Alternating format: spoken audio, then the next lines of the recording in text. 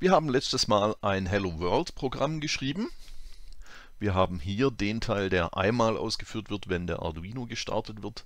Da wird die Geschwindigkeit eingestellt, mit der der Arduino Daten überträgt an den PC. Und dann hier in Loop, das wird regelmäßig wiederholt, da wird etwas gedruckt, also geschrieben, und zwar der Text Hello World und das immer wieder, immer wieder. Ich lasse es gerade nochmal laufen, dass wir uns das angucken können. Es wird kompiliert, es wird an den Arduino hochgeladen und wenn es fertig ist, können wir uns hier in dem Serial Monitor das anschauen und dann kommt ganz, ganz oft Hello World. Es können auch bei diesem Programm schon Fehler auftreten und die Fehler, die ich mit den Kindern beobachtet habe, die werde ich heute mal vorstellen.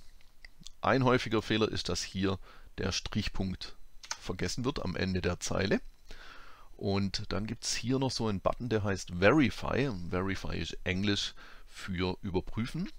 Und dieser Schritt passiert automatisch vor dem Hochladen auch. Ähm, man kann sich hier höchstens ein bisschen Zeit sparen, indem man nur überprüft und nicht hochlädt. Dann geht es vielleicht eine Kleinigkeit schneller.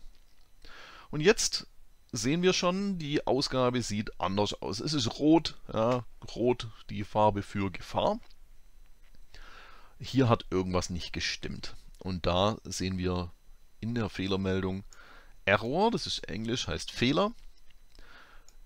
Expected Strichpunkt before geschweifte Klammer Token.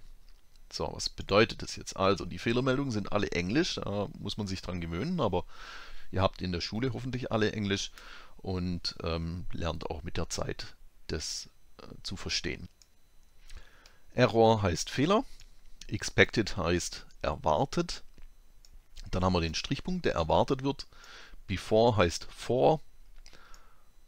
Und dann haben wir die geschweifte Klammer. Und Token, das ist sowas ganz kompliziertes. Ähm, das ist Teil von einem Compiler. Irgendwelche internen Sachen, die der Compiler äh, braucht.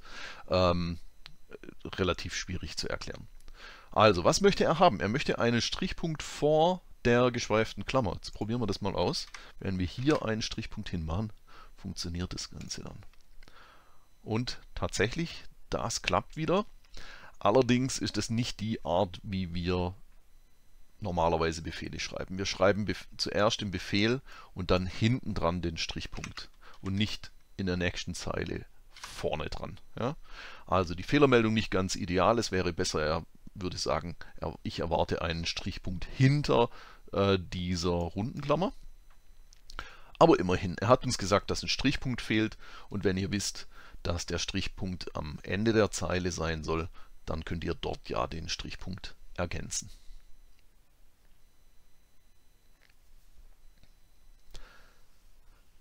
Eine weitere Sache, die oft passiert, ist, dass Groß-Kleinschreibung nicht berücksichtigt wird und dann hier zum Beispiel ein kleines s geschrieben wird und dann schauen wir uns mal an, was dann passiert. So, da kriegen wir auch wieder eine Meldung, Error, also gleiche Meldung wie vorher, Fehler. Serial, so wie wir es geschrieben haben, also klein, was not declared in this scope. Also, was bedeutet das? Fehler. Diese Variable, dieser Name, wurde nicht in diesem Scope deklariert. Jetzt ist wieder schwierig. Was ist Scope? Ähm, das werden wir später noch irgendwann lernen. Was bedeutet deklariert? Ähm, also komplizierte ähm, Begriffe, die hier verwendet werden. Lesen wir mal weiter. Note. Note heißt Notiz. Suggested Alternative, also vorgeschlagene Alternative.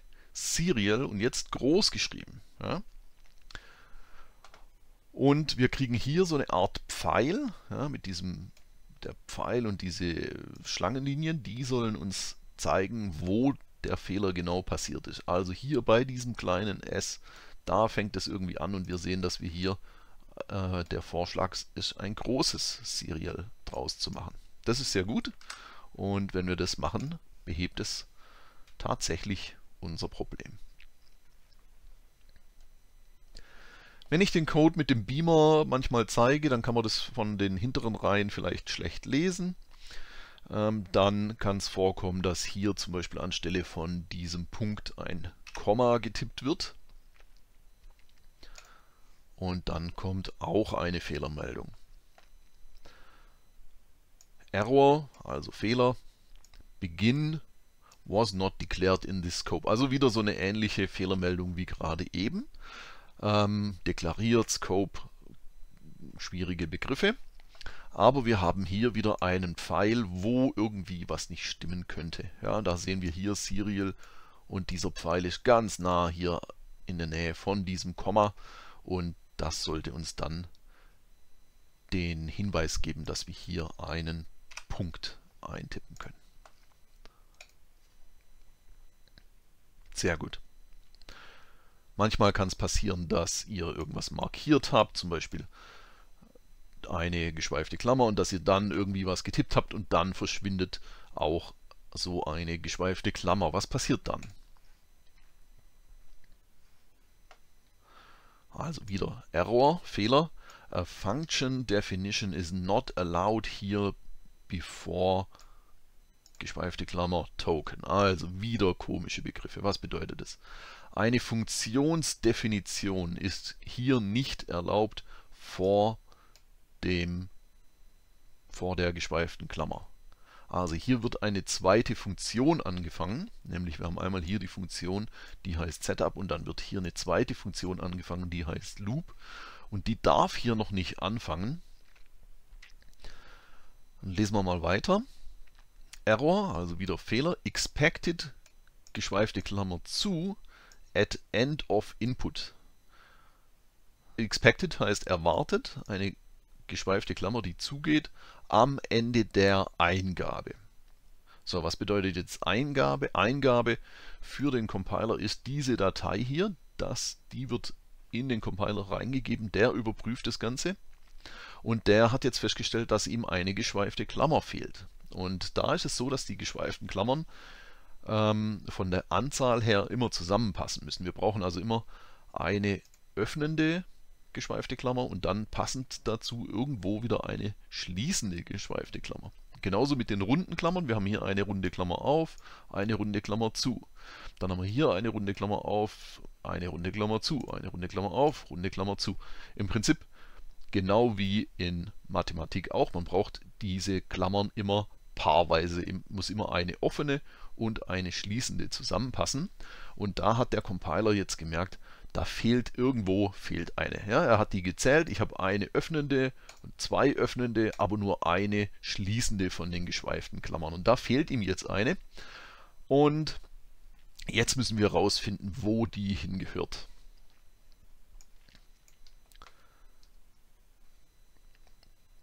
Da gibt es jetzt natürlich viele Möglichkeiten, wo man die geschweifte Klammer hinmachen kann. Hier ganz am Ende hat er ja gesagt, ja, am Ende. So, das können wir mal ausprobieren.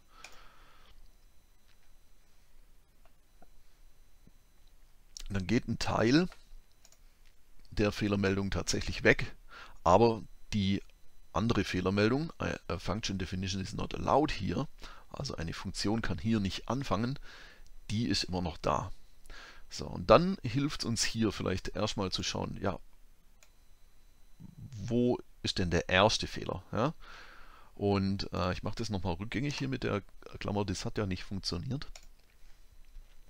Und vom Prinzip her ist es so, dass wir an der ersten Stelle, wo so ein Fehler auftritt, da in der Nähe, da sollten wir erstmal gucken. Also hier äh, kriegen wir eine Angabe, da irgendwo bei Loop fehlt ihm irgendwas. Und tatsächlich da gehört ja die Klammer auch hin, die geschweifte Klammer.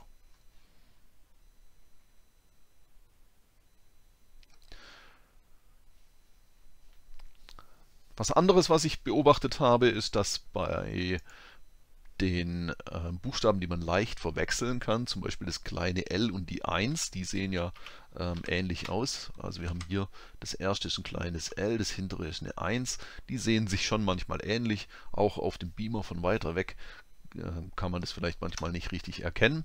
Und dann kommt es vor, dass ihr hier vielleicht eine 1 getippt habt statt einem kleinen L.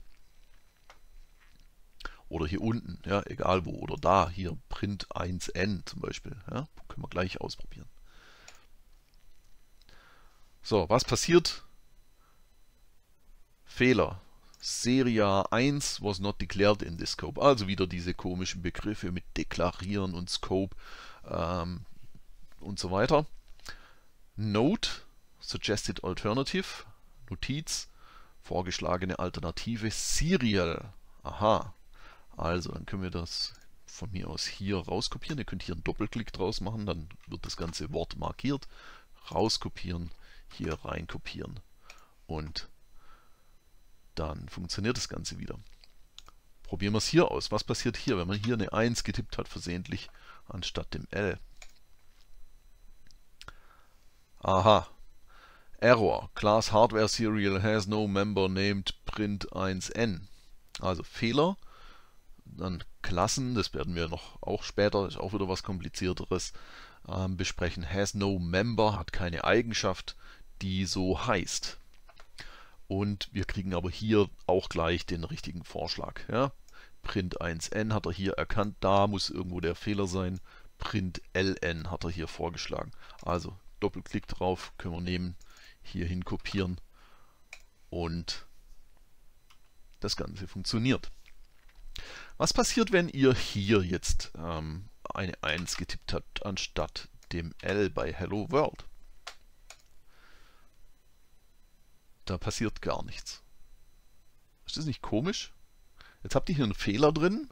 Hello World ist ähm, gar nicht mehr Hello World. Und trotzdem hat er das akzeptiert. Und das liegt daran, dass hier einfach ein Text steht. Den Text könnt ihr definieren, wie ihr wollt.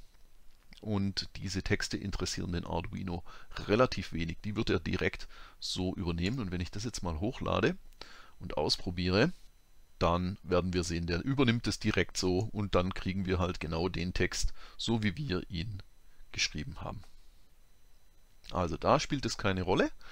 Ähm, das ist vielleicht auch ganz nett. Ja, da könnt ihr so Sachen machen wie Leadspeak. Also wem, wem das was sagt, hier Leadspeak, da schreibt man ja die Sachen äh, auch so ein bisschen komisch. Ja, so zum Beispiel Hello World in äh, Leadspeak und vielleicht wollt ihr das ja genau so haben. Das äh, ist ja vielleicht eure Entscheidung, dass hier gar nicht wirklich Hello World stehen soll, sondern eine abgewandelte Form von Hello World und dann ist ja auch gut, wenn der Arduino das so übernimmt, wie ihr das haben wolltet. Manchmal müssen wir ja auch Sachen selber machen können.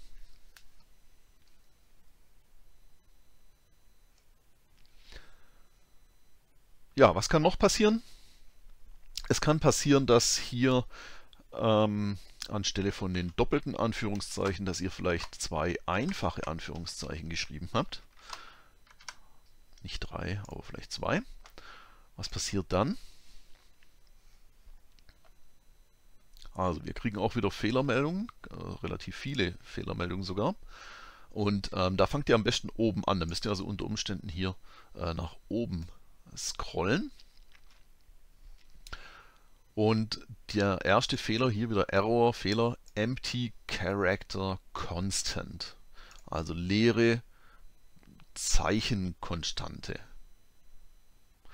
Und er hat den Punkt eigentlich ziemlich gut erkannt. Ja, Serial Printline und dann haben wir hier wieder diesen Pfeil, der zeigt auf unsere Anführungszeichen und da stimmt was nicht. Da sollten wir also was machen. Ähm, ich habe jetzt das hier markiert, habe jetzt Anführungszeichen getippt und jetzt hat die Arduino IDE versucht schlau zu sein und gesagt, hey, der will jetzt einen Text haben. Und ein Text kann man nur haben, wenn man ein Anführungszeichen vorne hat und eins hinten. Und jetzt hat es mir die ganzen Sachen, die ich markiert hatte, in die Anführungszeichen reingepackt. Das ist jetzt nicht ganz ähm, so gut. Jetzt kann ich das natürlich hier ähm, weglöschen zum Beispiel, so dass ich hier nur eins habe. So. Geht immer noch nicht. Error, Missing, Anführungszeichen, Character, also Fehler, fehlendes schließendes Anführungszeichen. Dann haben wir hier Hello World, das ist das der Anfang von dem Text und dafür fehlt uns das Schließende. Jetzt ist der Pfeil nicht ganz super. Er zeigt jetzt vorne hin, aber immerhin, er zeigt jetzt auf den Anfang. Er weiß aber nicht genau, wo das Ende sein soll. Und das müssen wir dann selber suchen.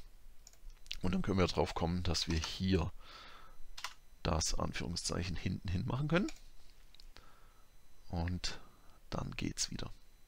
Ja, soweit die Fehler, die ich mit ähm, Kindern beobachtet habe. Vielleicht habt ihr wieder was äh, ein bisschen gelernt.